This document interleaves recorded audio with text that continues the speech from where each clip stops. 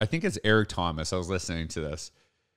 When people say they're perpetually late, he said he told someone, if I told you to meet me at 5 a.m. tomorrow, and if you do that, I'll give you a million dollars, would you be late? And they're like, not a chance. And you'd probably be early, if anything, right? So obviously, it's just that you, it's not that you have the ability, you just don't have the ability to be on time. It's just you don't feel someone's a priority.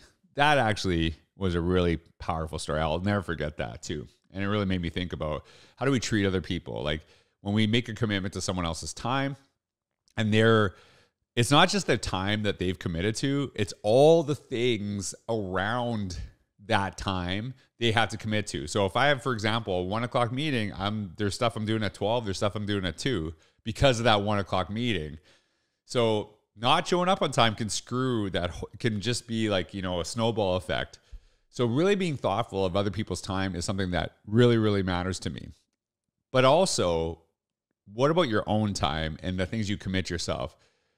when you say to yourself you're going to work out tomorrow in the morning what time are you going to work out like really what time are you going to work out is it 6 is it 5 is it 4.30 because if you say you're going to do it at a certain time you should do it at a certain time and it's really easy to hit the snooze button to kind of let things go but if it was an appointment with someone else would you do the same thing so often we keep commitments to others but not to ourselves one of the best things that i ever did and it really shifted my mindset is i used to teach spin class I used to teach this while I was a principal. Uh, I think while I was a vice principal as well. And so I had to teach at a 6 a.m. every single morning. And I'll tell you, I was late zero times.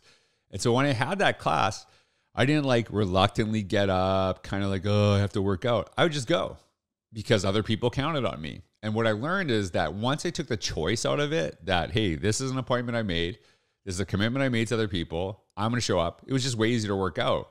So I took that mentality and I actually applied it to my workouts. I applied it to my time.